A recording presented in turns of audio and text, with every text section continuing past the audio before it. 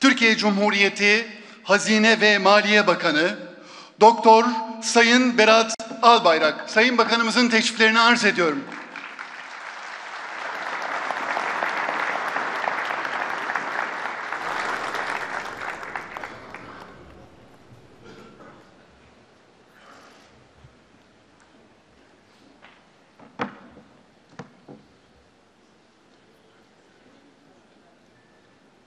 Efendiler, sizler doğrudan doğruya milletimizi oluşturan halk sınıflarının içinden geliyorsunuz. Ve onlar tarafından seçilmiş olarak geliyorsunuz. Bunun için memleketimizin, milletimizin halini, ihtiyacını ve milletimizin emellerini, üzüntülerini yakından biliyorsunuz ve herkesten daha iyi biliyorsunuz. Sizin söyleyeceğiniz sözler, alınması gereğini söyleyeceğiniz önlemler doğrudan doğruya halkın dilinden söylenmiş gibi kabul olunur. Zira halkın sesi hakkın sesidir. Tarih milletlerin yükselme ve düşmesi sebeplerini ararken birçok siyasi, askeri, sosyal nedenler bulmakta ve saymaktadır. Şüphe yok. Bütün bu nedenler sosyal olaylarla etkilidir. Fakat bir milletin doğrudan doğruya hayatıyla, yükselmesiyle, düşmesiyle ilgili ve ilişkili olan milletin ekonomisidir. Tarihin ve tecrübenin belirlediği bu gerçek bizim milli hayatımızda ve milli tarihimizde de tamamen görülmüştür. Gerçekten Türk tarihi araştırılırsa bütün yükselme ve düşme sebeplerinin bir iktisat meselesinden başka bir mesele olmadığı anlaşılır. Tarihimizi dolduran bunca başarılar, zaferler veyahut yenilgiler, yok olmalar ve felaketler Bunların tümü gerçekleştikleri devirlerdeki iktisadi durumlarımızla ilişkilidir ve ilgilidir. Yeni Türkiye'mizi hak ettiği yere ulaştırabilmek için mutlaka ekonomimize birinci derecede önem vermek zorundayız. Bu vatan evlat ve torunlarımız için cennet yapılmaya layık çok yakışır bir vatandır. İşte bu memleketi böyle bayındır haline, cennet haline getirecek olan ekonomik nedenler ve ekonomik faaliyetlerdir. Bu devlet, bu millet iktisadi hakimiyetini sağlarsa o kadar kuvvetli bir temel üzerinde yerleşmiş ve yükselmeye başlamış olacaktır ki artık bunu yerinden kıpırdatamazlar.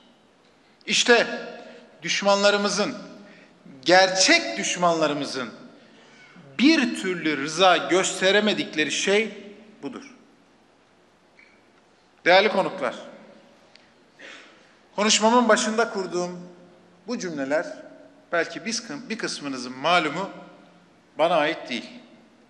Kime ait? Cumhuriyetimizin kurucusu Gazi Mustafa Kemal Atatürk'e ait. 96 yıl önce, tam 96 yıl önce bugünlerde İzmir İktisat Kongresi'nde kurduğu bu cümleler bugüne, bugün yaşadığımız tüm bu süreçlere de ışık tutuyor. Çok net. Bunu görebiliyoruz değil mi? 96 yıl önce bugün. Rahmetle yad edeceğiz. Tam 96 yıl önce İktisat Kongresi'nde İzmir'de bu cümleleri kurmuş. Öncelikle 96 yıl önce toplanan ilk İzmir İktisat Kongresi'ni ve kongrede siyasi ve iktisadi bağımsızlığımızı ancak birlikte var olabileceğini gören Mustafa Kemal Atatürk'e ve Cumhuriyetimizin kurucu kadrosunu bu vesileyle saygıyla anıyorum.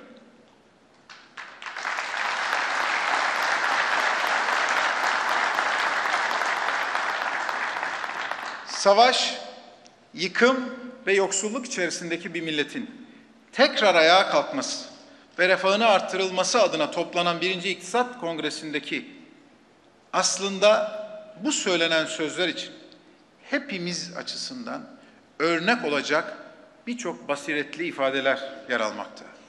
Diğer taraftan zorlu koşullar altında gerçekleştirilen bu kongrede tüm paydaşların söz hakkına sahip olması en zor koşullar altında dahi müzakere, işbirliği ve ortak akıldan vazgeçilmediğini göstermektedir. Biz de bugün geçmişi iyi bilerek, dünden gerekli dersleri alarak, bugüne doğru okuyarak Türkiye'nin geleceğine, güçlü geleceğine emin adımlarla yürüyoruz. Ülkemizde güçlü, sürdürülebilir ve kapsayıcı büyümenin bu manada çok daha sağlam bir şekilde ilerleyebilmesi için daha fazla katma değer üreten bir ekonomik yapıya geçiş ve bununla birlikte küresel değer zincirinde daha üst basamaklara çıkabilmek için var gücümüzle çalışıyoruz. Hepinizin malum olduğu üzere Türkiye zor bir dönemden geçti son 6 ayda. Ve son 5 yıla baktığımızda Türkiye'nin yaşadığı tüm bu süreçleri detaylı incelediğimizde toplumsal, siyasi ve terör olaylarının tamamında hedef hep ekonomiydi. Geçen onu gösterdim. Üst gelir grubu eşiği olan 12 bin doların üzerine çıktığı dönemdir 2013 yılı Türkiye. 2013 yılında 12 bin doları gezip geçip orta gelir grubundan üst gelir grubuna çıktığı an Türkiye 2013 Mayıs ve Haziran olaylarında yeni bir dönem başladı. İşte son 5 yıl yaşadıklarımızda kritik bir eşiktir bu.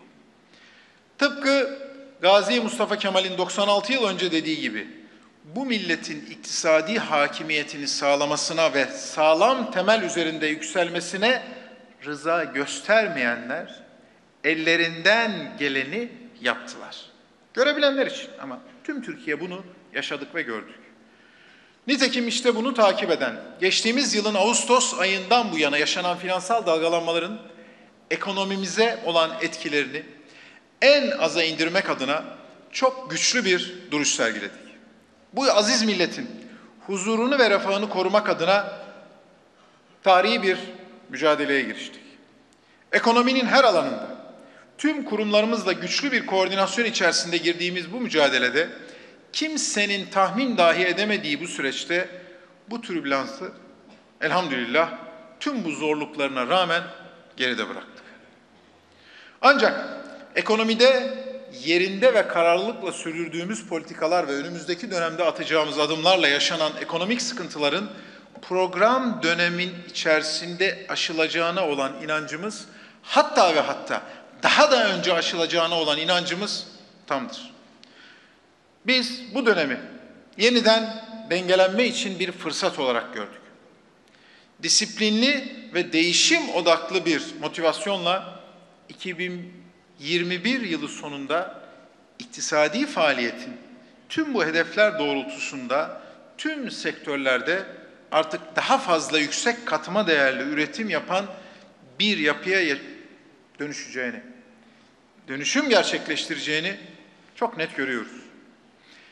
Ekonomimize yönelik finansal saldırılar karşısında ciddi bir sınav veren Türkiye ekonomisi, taviz vermediği mali disiplin performansı ve düşük borçluluk oranlarıyla 2018 yılı Ağustos ayında yaşadığı bu süreci atlatarak dengelenme sürecini başarılı bir şekilde sürdürmektedir.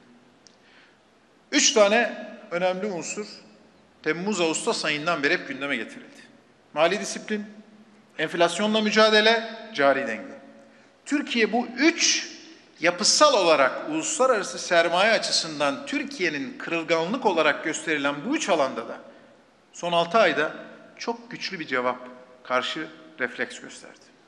Ve bugün geldiğimiz bu süreç Türkiye'nin artık bir daha hiçbir şekilde bu tarz bir kırılganlıkla karşı karşıya kalmaması için çok kararlı adımlar atmaya başladı. Ve beklediğimizden de çok daha erken bir toparlanma, dengelenme süreci görüyoruz. İşte son cari rakamlar. Ocak ayı ben size şöyle söyleyeyim. Ocak ayı sonu itibariyle 12 aylık belki cari denge rakamları, cari açık rakamları belki de 20 milyar doların altına düşecek. Cari fazla, cari açıktan cari fazlaya geçiş dönemine hızla Türkiye yol alıyor.